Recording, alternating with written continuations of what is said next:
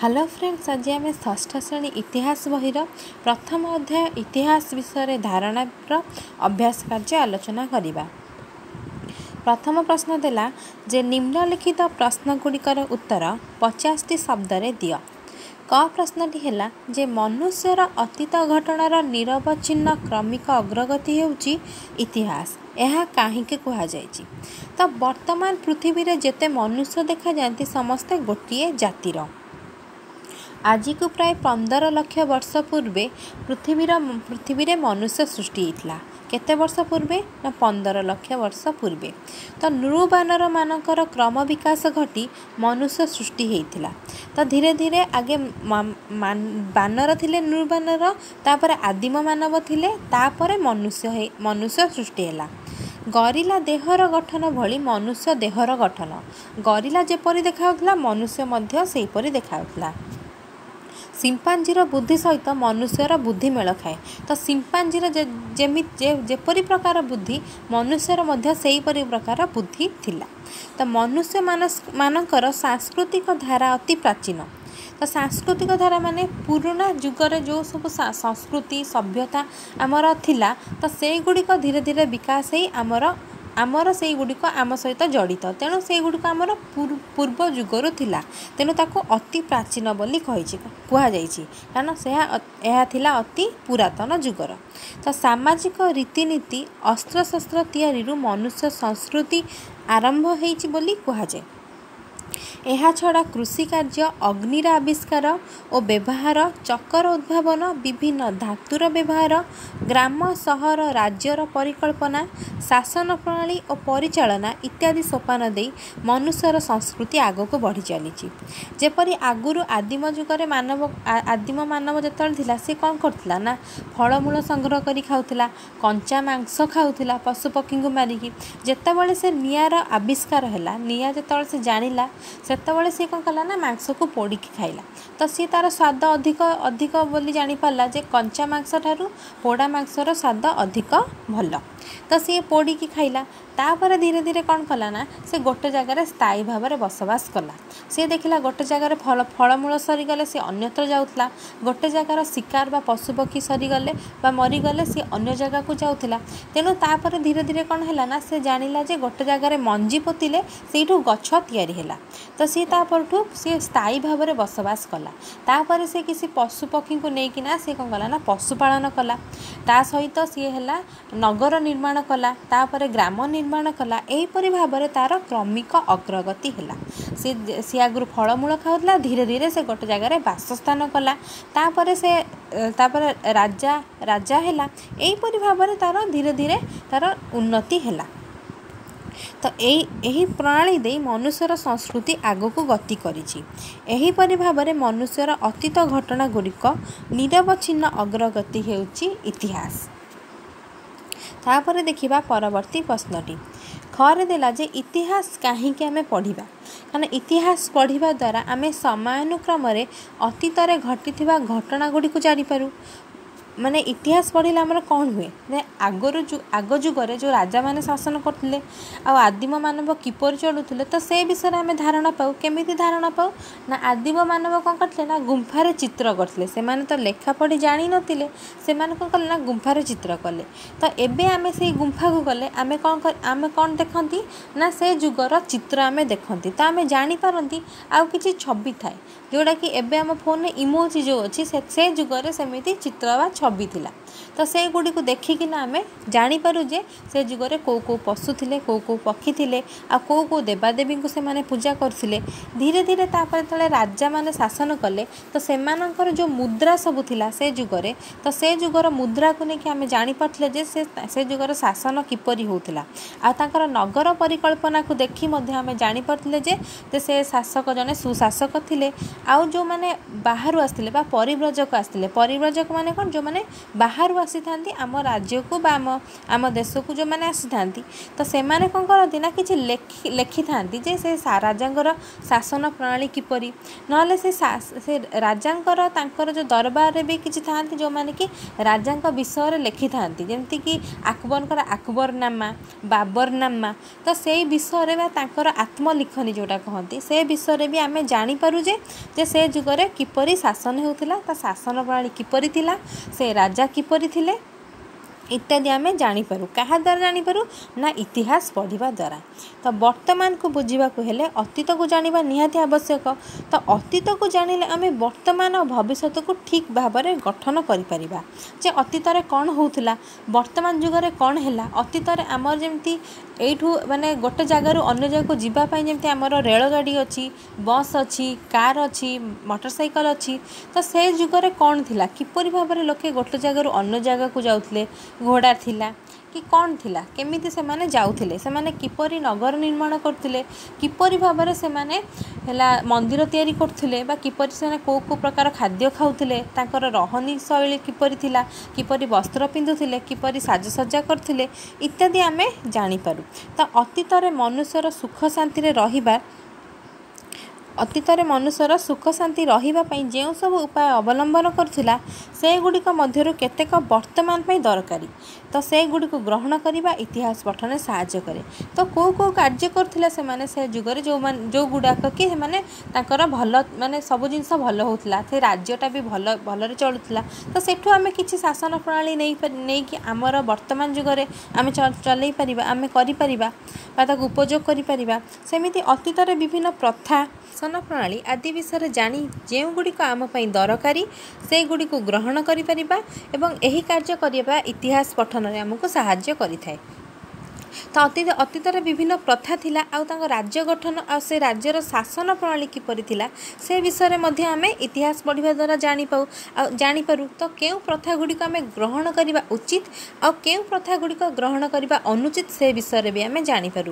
ଯେମିତିକି ଆଗରୁ ବାଲ୍ୟ ବିବାହ ପ୍ରଥା ଥିଲା ଯେଉଁଟାକି ଏବେ ଅନୁଚିତ। ଏବଂ ବାଲ୍ୟ ବିବାହ ପ୍ରଥା ମାନେ ଗୋଟେ ବୟସ ସୀମା ଥାଏ ଯେଉଁ ବୟସ ସୀମାରେ ପୁଅ ଝିଅଙ୍କର ବିବାହ କରା ବିବାହ କରାଯାଏ।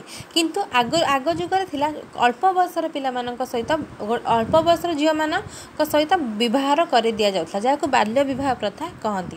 ତା ସହିତ ବି ସତୀଦାହ ପ୍ରଥା ଥିଲା ଯେମିତିକି ଗୋଟେ ସ୍ତ୍ରୀର ତାଙ୍କ ସ୍ୱାମୀ ମରିଗଲେ ସେ ତାଙ୍କୁ ନେଇକିନା ସେ ନିଆଁରେ ତାଙ୍କୁ ମାନେ ତୁମେ ବି ମରିଯାଅ ସିଏ ଯଦି ମରିଗଲେ ତାହେଲେ ତୁମେ ବି ମରିଯାଅ କାରଣ ତୁମେ ସତୀ ତ ଏହି ପ୍ରଥା ଗୁଡ଼ିକ ବହୁତ ଅନ୍ଧବିଶ୍ୱାସ ଥିଲା ଆଉ କୁସଂସ୍କାର ବି ଥିଲା ଆଗରୁ ଆଉ ଝିଅ ପିଲାମାନଙ୍କୁ ମାନେ ଶିକ୍ଷା ଶିକ୍ଷା ତାଙ୍କୁ ଦିଆଯାଉନଥିଲା ଯେ ତୁମେ ଶିକ୍ଷା ଲାଭ କରିପାରିବ ନାହିଁ ଯେଉଁଗୁଡ଼ାକ କି ଅନ୍ଧବିଶ୍ୱାସ ଥିଲା ତ ସେଇ ସେଇ ପ୍ରଥା ଗୁଡ଼ିକ ଆମେ ଗ୍ରହଣ କରିବା କରିବା ନାହିଁ ଏବଂ ଯେଉଁ ପ୍ରଥା ଗୁଡ଼ିକୁ ସମସ୍ତଙ୍କର ଭଲ ମାନେ ମଙ୍ଗଳ ହେଉଥିବ ସମସ୍ତଙ୍କର କଲ୍ୟାଣ ହେଉଥିବ ସେଇ ପ୍ରଥା ଗୁଡ଼ିକୁ ଗ୍ରହଣ କରିବା ଯେଉଁଗୁଡ଼ାକି ଅନ୍ଧବିଶ୍ୱାସ ନୁହେଁ ତାପରେ ଦେଖିବା ଅତୀତରେ ଥିବା ଅନେକ କୁପ୍ରଥା ଓ ଅନ୍ଧବିଶ୍ୱାସ ଏବେ ମଧ୍ୟ ଆମ ସମାଜରେ ପ୍ରଚଳିତ।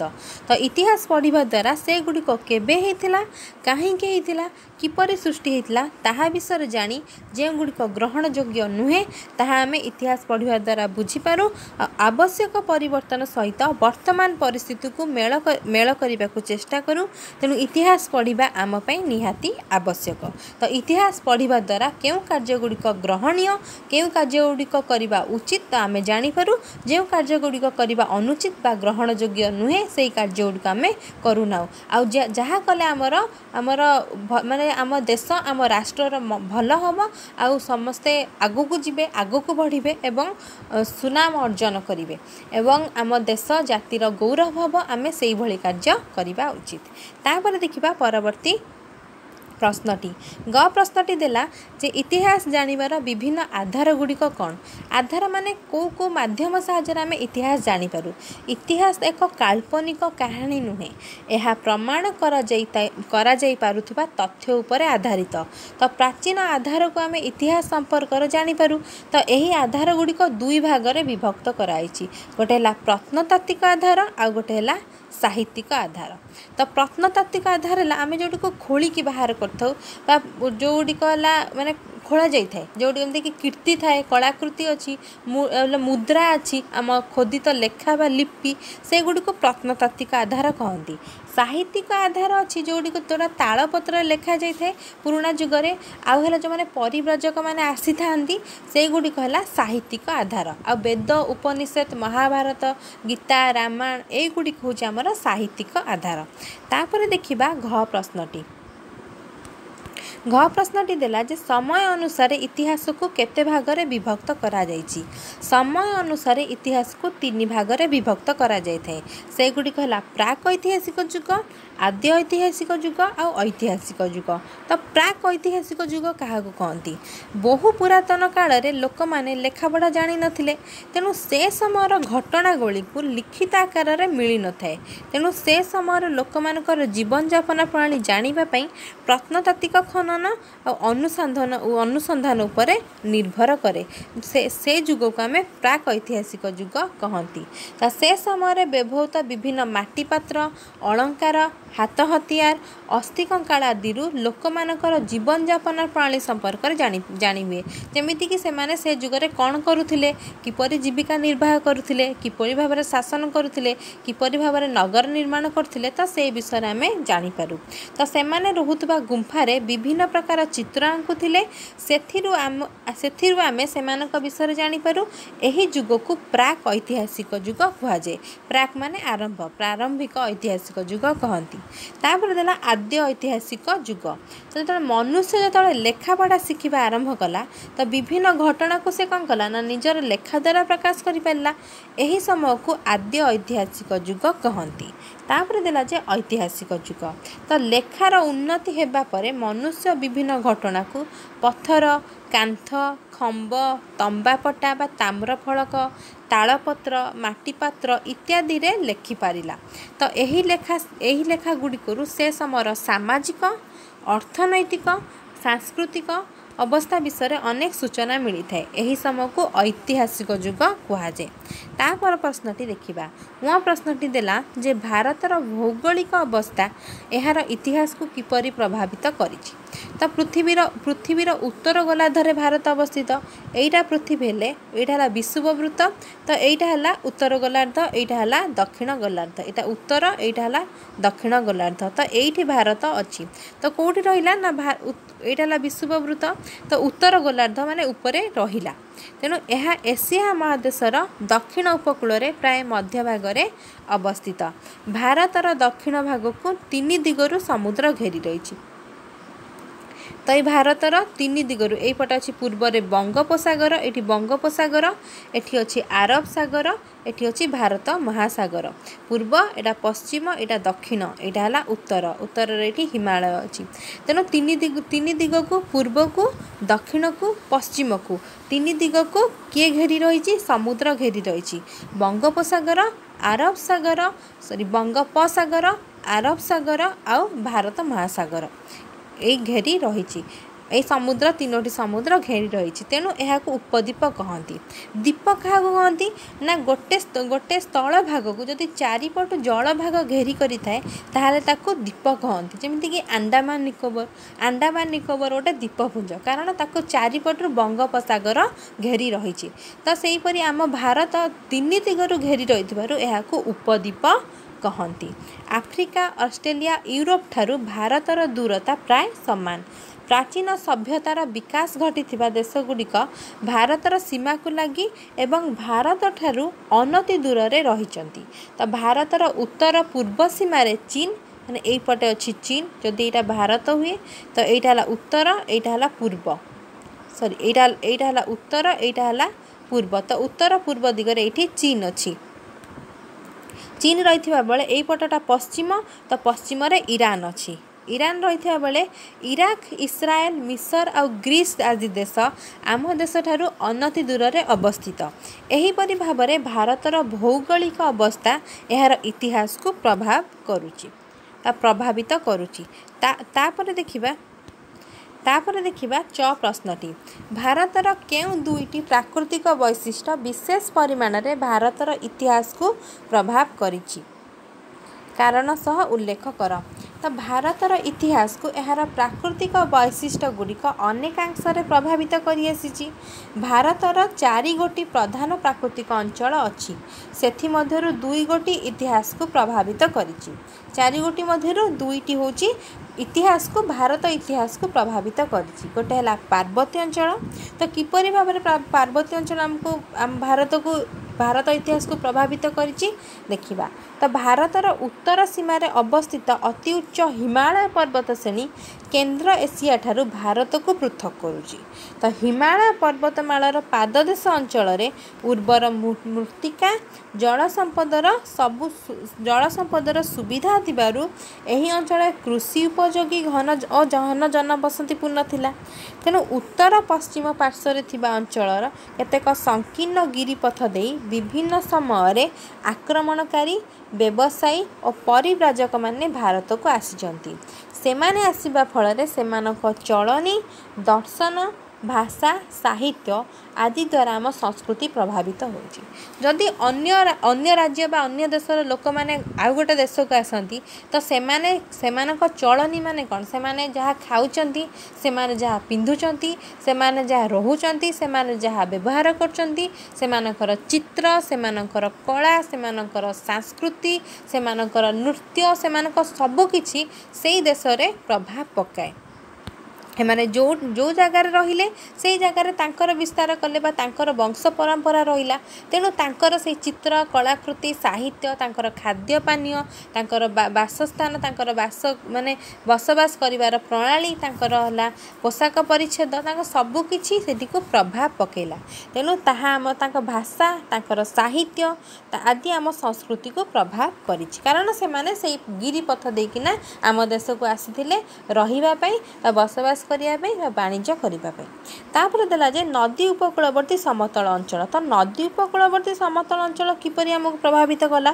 ନା ଆମ ଦେଶର ପଶ୍ଚିମ ପାର୍ଶ୍ୱରେ ଆରବ ସାଗର ଏଇଠି ପଶ୍ଚିମ ଅଛି।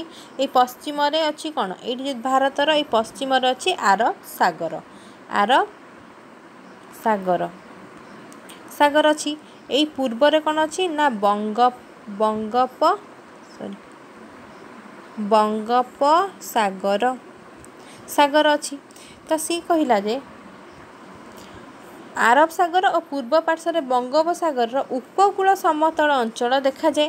ତ ପଶ୍ଚିମ ଉପକୂଳସ୍ଥ ସମତଳ ଭୂମି ଏଇ ଯେଉଁ ପଶ୍ଚିମ ଉପକୂଳସ୍ଥ ଗୁଜୁରାଟ ଏଇଠି ଗୁଜୁରାଟ ଠାରୁ ଏଇଠି କେରଳ ଏଇଠି କେରଳ ପର୍ଯ୍ୟନ୍ତ ବିସ୍ତୃତ।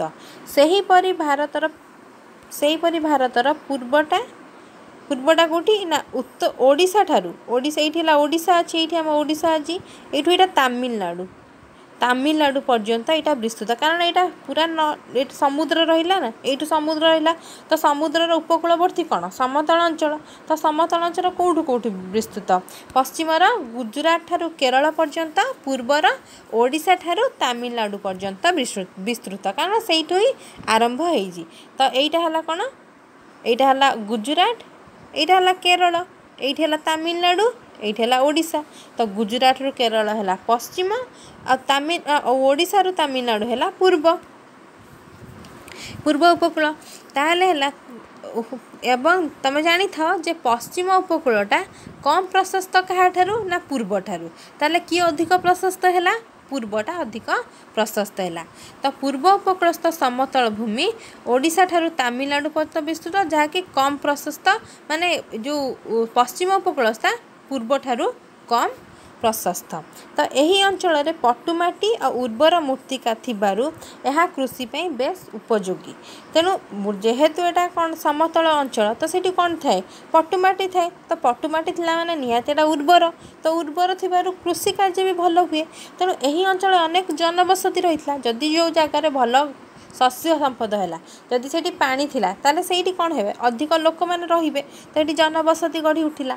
ତ ଉପକୂଳବର୍ତ୍ତୀ ଅଞ୍ଚଳ ଅବସ୍ଥିତ ନଦୀ ମୁହାଣ ଗୁଡ଼ିକରେ ଅନେକ ବନ୍ଦର ବି ଥିଲା।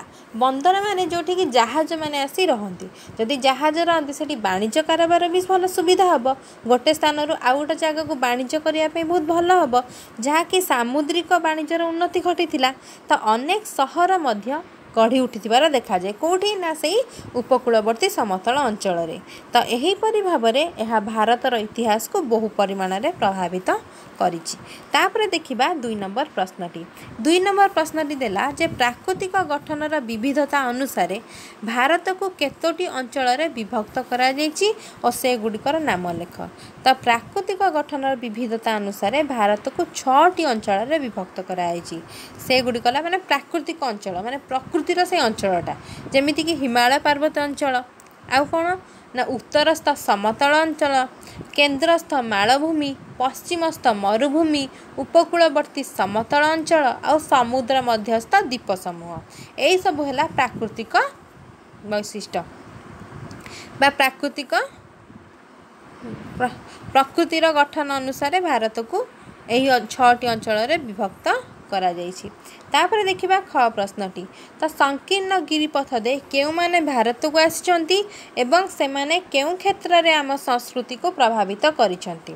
ତ ସଂକୀର୍ଣ୍ଣ ଗିରିପଥ ଦେଇ ବିଭିନ୍ନ ସମୟରେ ଆକ୍ରମଣକାରୀ ବ୍ୟବସାୟୀ ଆଉ ପରିବ୍ରାଜକମାନେ ଭାରତକୁ ଆସିଛନ୍ତି ଏବଂ ସେମାନେ ଆସିବା ଫଳରେ ସେମାନଙ୍କର ଚଳଣି ସେମାନଙ୍କର ଦର୍ଶନ ତାଙ୍କର ଭାଷା ଓ ସାହିତ୍ୟ ଦ୍ୱାରା ଆମ ସଂସ୍କୃତିକୁ ପ୍ରଭାବିତ ହୋଇଛି। ତ ଗ ପ୍ରଶ୍ନଟି ଦେଲା ଯେ ପଶ୍ଚିମ ଘାଟ ପର୍ବତମାଳା କେଉଁଠାରୁ କେଉଁ ପର୍ଯ୍ୟନ୍ତ ବିସ୍ତୃତ ଏବଂ ଏହା କେଉଁ କାରଣରୁ ଘନ ଜଙ୍ଗଲରେ ପୂର୍ଣ୍ଣ? ତ ଦକ୍ଷିଣ ଭାରତର ମାଳଭୂମିର ପଶ୍ଚିମ ପାର୍ଶ୍ୱରେ ପଶ୍ଚିମ ଘାଟ ପର୍ବତମାଳା ଅବସ୍ଥିତ। ପଶ୍ଚିମ ଘାଟ ପର୍ବତମାଳା ଭାରତର ମଧ୍ୟଭାଗରୁ ଦକ୍ଷିଣ ପ୍ରାନ୍ତ ଯାଏଁ ବିସ୍ତୃତ। ତ ପଶ୍ଚିମ ଘାଟ ପାର୍ବତ୍ୟ ଅଞ୍ଚଳରେ ପ୍ରଚୁର ବର୍ଷା ହେଉଥିବାରୁ ଏହା ଘନ ଜଙ୍ଗଲପୂର୍ଣ୍ଣ ଅଟେ। ଘ ପ୍ରଶ୍ନଟି ଦେଲା ଯେ ସମତଳ ଅଞ୍ଚଳ କିପରି ସୃଷ୍ଟି ହୋଇଛି ଏବଂ ଏଠାରେ କେଉଁ କାରଣରୁ ବିଭିନ୍ନ ଶସ୍ୟ ଉତ୍ପାଦନ କରାଯାଇଥାଏ? ତ ସାବରମତୀ ମାହି ନର୍ମଦା ତାପ୍ତି ଆଦି ନଦୀଗୁଡ଼ିକ ପଟୁମାଟି ଦ୍ୱାରା ପଶ୍ଚିମ ଉପକୂଳ ଏଇ ଯେଉଁ ଗୁଜୁରାଟ ଠାରୁ କେରଳ ପର୍ଯ୍ୟନ୍ତ ଯେଉଁ ଉପକୂଳ ତ ସେଇଠି କେଉଁ କେଉଁ ନଦୀ ରହିଲା? ନା ସାବରମତୀ ମାହି ନର୍ମଦା ଆଉ ତାପ୍ତି। ଗଠିତ ହୋଇଥିବା ବେଳେ ମହାନଦୀ କୃଷ୍ଣା କାବେରୀ ଗୋଦାବରୀ ଆଦି ନଦୀ ପଟୁମାଟି ଦ୍ୱାରା କେଉଁଠି ନା ପୂର୍ବ ଉପକୂଳ ତା'ମାନେ ଓଡ଼ିଶା ଠାରୁ ତାମିଲନାଡ଼ୁ ପର୍ଯ୍ୟନ୍ତ ଯେତିକି ରାଜ୍ୟ ଅଛି ସେଥିରେ କେଉଁ କେଉଁ ନଦୀ ଅଛି? ନା ମହାନଦୀ କୃଷ୍ଣା କାବେରୀ। ଗୋଦାବରୀ। ଆଦି ନଦୀର ପଟୁମାଟି ଦ୍ୱାରା ପୂର୍ବ ଉପକୂଳ ସମତଳ ଭୂମି ଗଠିତ ହୋଇଛି। ତ ସମୁଦ୍ର ଉପକୂଳବର୍ତ୍ତୀ ସମତଳ ଅଞ୍ଚଳ ଅତ୍ୟନ୍ତ ଉର୍ବର ହୋଇଥିବା କାରଣରୁ ବିଭିନ୍ନ ଶସ୍ୟ ଉତ୍ପାଦନ ହୋଇଥାଏ। ତାପରେ ଦେଖିବା ଉଁ ପ୍ରଶ୍ନଟି। କେଉଁ କାରଣରୁ ନଦୀକୂଳମାନଙ୍କରେ ପ୍ରାଚୀନ ସଭ୍ୟତା ଗଢ଼ି ଉଠିଥିଲା କ'ଣ ପାଇଁ ନଦୀକୂଳରେ ଗଢ଼ି ଉଠିଲା? ଆଉ କେଉଁଠି ଗଢ଼ି ଉଠିଲାନି? କାରଣ ନଦୀକୂଳବର୍ତ୍ତୀ ସମତଳ ହେଉଛି ଅତ୍ୟନ୍ତ ଉର୍ବର। କାରଣ ସେ ମାଟିଟା ଉର୍ବର। କାରଣ ସେ ବିଭିନ୍ନ ପ୍ରକାର ନଦୀର ମାଟି ନେଇକି ବୋହିକି ଆସିଥାଏ ତେଣୁ କ'ଣ ହେଇଥାଏ? ନା ମାଟି ଗୁଡ଼ିକ କ'ଣ ହେଇଥାଏ? ସେ ଜାଗାରେ ଥାଏ। ଉର୍ବର। ତେଣୁ କୃଷି ପାଇଁ ବେଶ ଉପଯୋଗୀ ହୋଇଥିବାରୁ ଏହି ଅଞ୍ଚଳରେ ଘନ ଜନବସତି ପୂର୍ଣ୍ଣ ଦେଖାଯାଏ। ଯଦି ଗୋଟେ ଜାଗାରେ କୃଷି କାର୍ଯ୍ୟ ହେଲା ଯଦି ସେଠି ପାଣି ଥିଲା ତ ସେଇଠି କ'ଣ ହେବ? ଲୋକମାନେ ବସବାସ କରିବେ ବାସ ସେମିତି ମାନେ ସ୍ଥାୟୀ ଭାବରେ ରହିବେ। ତେଣୁ ଘନ ଜନ ଜନବସତି ଦେଖାଯାଏ। ଯାହାଫଳରେ ପ୍ରାଚୀନ ସଭ୍ୟତାମାନ ଗଢ଼ି ଉଠିଥିଲା। ତ କେଉଁ ଅଞ୍ଚଳରେ ଘନ ଜନ ଜନବସତି ଦେଖାଯାଏ ଓ କାହିଁକି?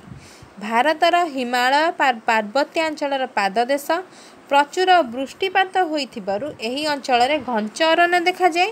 ତ ଅରଣ୍ୟଜାତ ଦ୍ରବ୍ୟ ଉପରେ ନିର୍ଭର କରି ଏଠାର ଲୋକମାନେ ବାସ କରନ୍ତି ଓ ସମୁଦ୍ର ଉପକୂଳବର୍ତ୍ତୀ ସମତଳ ଅଞ୍ଚଳ ଅତ୍ୟନ୍ତ ଉର୍ବର ଓ କୃଷି ପାଇଁ ବେଶ ଉପଯୋଗୀ ହୋଇଥିବାରୁ ଏ ଅଞ୍ଚଳରେ ଘନ ଜନବସତି ଦେଖାଯାଏ। ତିନି ନମ୍ବର କ ପ୍ରଶ୍ନଟି କେଉଁଠାରେ ଅନେକ ବନ୍ଦର ଗଢ଼ି ଉଠିଥିଲା। ଉପକୂଳବର୍ତ୍ତୀ ସମତଳ ଅଞ୍ଚଳର ଅବସ୍ଥିତ ନଦୀ ମୁହାଣରେ ଅନେକ ବନ୍ଦର ଗଢ଼ି ଉଠିଥିଲା। ବନ୍ଦର ମାନେ କ'ଣ? ନା ଯେଉଁ ଜାଗାରେ ଜାହାଜ ଆସିକିନା ରହେ। ଜାହାଜ ଲାଗେ। ତାପରେ ଦେଖିବା ଆଉ ହେଲା ଆମ ଓଡ଼ିଶାର କେଉଁ ଜାଗାରେ ବନ୍ଦର ଅଛି? ପାରାଦ୍ୱୀପଠାରେ ଅଛି। ଆଉ କେଉଁ କେଉଁ ଜାଗାରେ କେଉଁଠି ବନ୍ଦର ଅଛି? କହିବ ମୋତେ। ତାପରେ ଦେଲା ଯେ ଖ। ଅରଣ୍ୟର ଶାନ୍ତ ଓ ସୁନ୍ଦର ପରିବେଶ କେଉଁ କେଉଁ କ୍ଷେତ୍ରରେ ଉନ୍ନତି କରିବାରେ ସାହାଯ୍ୟ କରିଥିଲା। ତ ଅରଣ୍ୟର ଶାନ୍ତ ଓ ସୁନ୍ଦର ପରିବେଶର ସଭ୍ୟତା ବିଶେଷ କରି ଧର୍ମ ଦର୍ଶନ ଏବଂ ସାହିତ୍ୟର ଉନ୍ନତି କରିବାରେ ସାହାଯ୍ୟ କରିଅଛି। ଆମ ଗ ପ୍ରଶ୍ନଟି ହେଲା ଯେ ଆମ ଦେଶର କେଉଁ ସ୍ଥାନରେ ସମତଳ ଅଞ୍ଚଳ ଦେଖାଯାଏ? ଆମ ଦେଶର ହିମାଳୟ ପାର୍ବତ୍ୟ ଅଞ୍ଚଳ ଓ ଦକ୍ଷିଣ ଭାରତର ମାଳଭୂମି ମଧ୍ୟରେ ଏକ ବିସ୍ତୀର୍ଣ୍ଣ ସମତଳ ଅଞ୍ଚଳ ପୂର୍ବ ପଶ୍ଚିମ ହୋଇ ଲମ୍ବି ରହିଛି।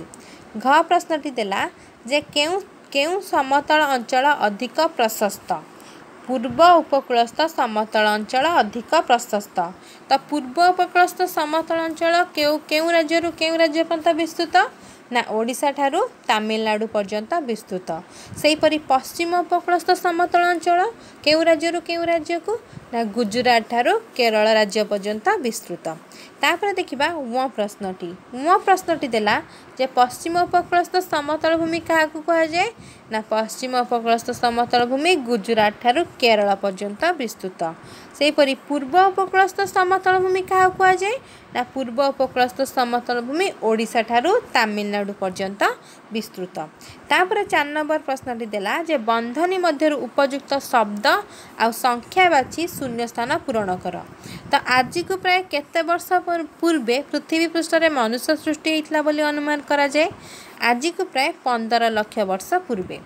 ତାପରେ ଦେଖିବା ଖ ପ୍ରଶ୍ନଟି। ଯେ ପ୍ରାଚୀନ କାଳରେ କେଉଁ ପତ୍ରରେ ଲେଖାଯାଉଥିଲା ତାଳ ପତ୍ରରେ ତାପରେ ଗ ପ୍ରଶ୍ନଟି। ସମୟ ଅନୁସାରେ ଇତିହାସକୁ କେତେ ଭାଗରେ ବିଭକ୍ତ କରାଯାଇଛି? ତିନି ଭାଗରେ। ସମୟ ଅନୁସାରେ। ପ୍ରାକ୍ ଐତିହାସିକ ଆଦ୍ୟ ଐତିହାସିକ ଆଉ ଐତିହାସିକ। ଘ ପ୍ରଶ୍ନଟି ହେଲା ଯେ ଭାରତର କେନ୍ଦ୍ରସ୍ଥ ମାଳଭୂମି ବୃହତ୍ତମ ମାଳଭୂମି ଅଟେ। ଭାରତର କେନ୍ଦ୍ରସ୍ଥ ମାଳଭୂମି ବୃହତ୍ତମ ମାଳଭୂମି ଅଟେ। ସେ ଦେଇଥିଲା ଭାରତର ଡ୍ୟାସ୍ ବୃହତ୍ତମ ପ୍ରାକୃତିକ ଅଞ୍ଚଳ ଅଟେ।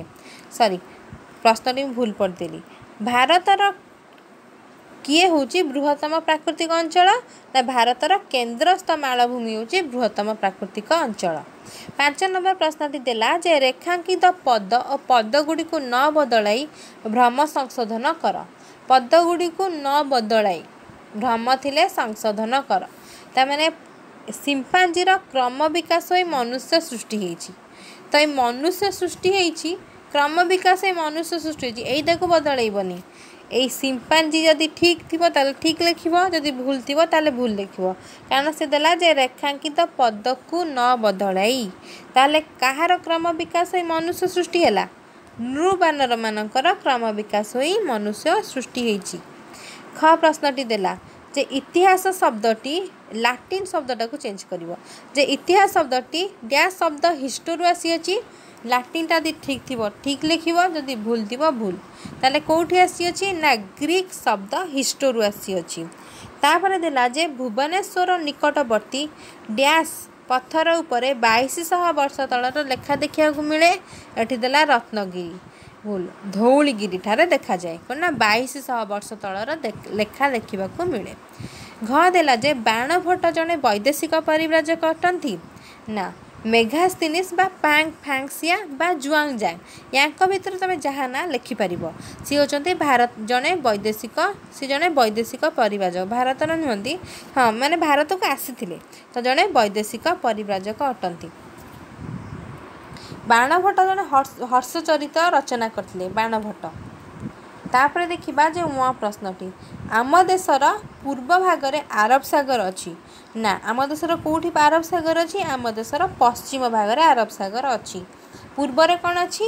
ପୂର୍ବରେ ବଙ୍ଗୋପସାଗର ଅଛି। ତାପରେ ଦେଲା ଛଅ ନମ୍ବର ପ୍ରଶ୍ନଟି। ତଳେ ଦିଆଯାଇଥିବା ଉତ୍ତର ଗୁଡ଼ିକ ମଧ୍ୟରୁ ଯେଉଁ ଉତ୍ତରଟି ଠିକ୍ ତା ପାଖରେ ଠିକ୍ ଚିହ୍ନ ଦିଅ। କ ପ୍ରଶ୍ନଟି ଦେଲା ଯେ ନୃବାନରର ସମ୍ପର୍କୀୟ ହେଉଛନ୍ତି କିଏ? ବାଘ ଗୋଧି ଓଟ ଓରାଙ୍ଗୋଟାଙ୍ଗ। ଓରାଙ୍ଗୋଟାଙ୍ଗ ହେବ।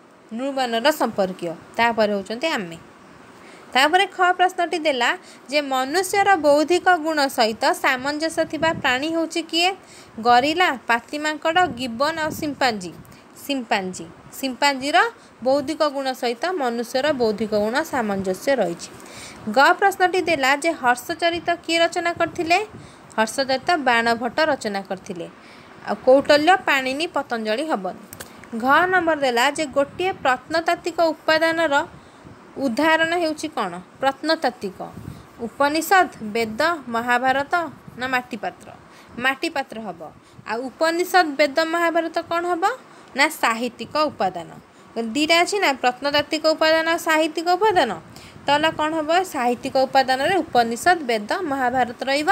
ଆଉ ପ୍ରତ୍ନତାତ୍ତ୍ୱିକରେ ମାଟିପାତ୍ର ରହିବ। ମୋ ପ୍ରଶ୍ନଟି ଥିଲା ଯେ ଇରାନ ଦେଶ ଭାରତର କେଉଁ ଦିଗରେ ଅବସ୍ଥିତ? ଇରାନ ଦେଶ ଭାରତର ପଶ୍ଚିମ। ଭାରତ ପୂର୍ବ ଏଇ ପଶ୍ଚିମ ଏଇପଟେ ଏଇପଟେ ଯାଇଛି ଇରାନ। ତ ଇରାନ ପଶ୍ଚିମ ପାର୍ଶ୍ୱରେ ଅବସ୍ଥିତ।